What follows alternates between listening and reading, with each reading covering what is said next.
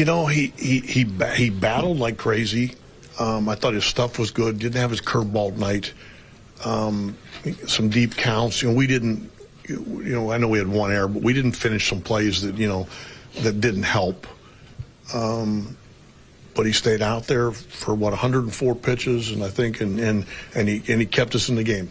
Well, last year he always had that one inning where we get away from him, but he. Why is it that he can find a way back the way he does? Well, I think he, I think he's good, and I think he's going to be better than what we've seen maybe the first three starts. His stuff is fine. He just with repetition, he gets better.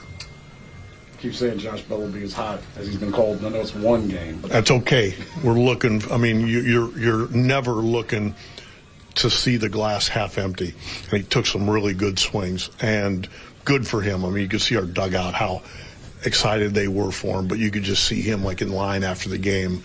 I get it, man. It, it, it had to feel good. How nice is to see Will Brennan competing with his at bats the way he is. You know what? He always does. You know, with two strikes, he'll he'll give a little bit. You know, get the the barrel of the, of the bat to the ball somehow.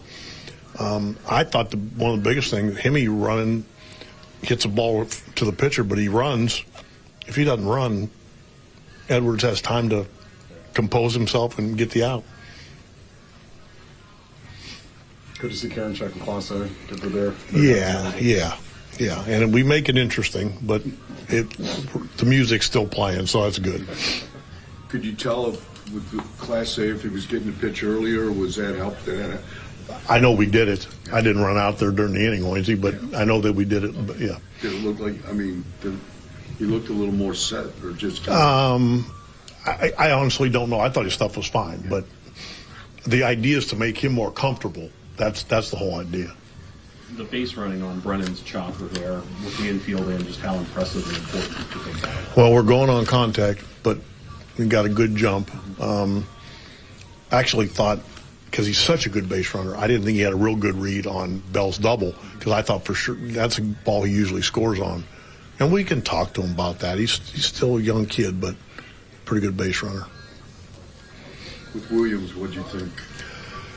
I thought he changed speeds kept the ball down. You know, we started trying to pull the ball and kind of played into his hand a little bit. Um, he knows how to pitch.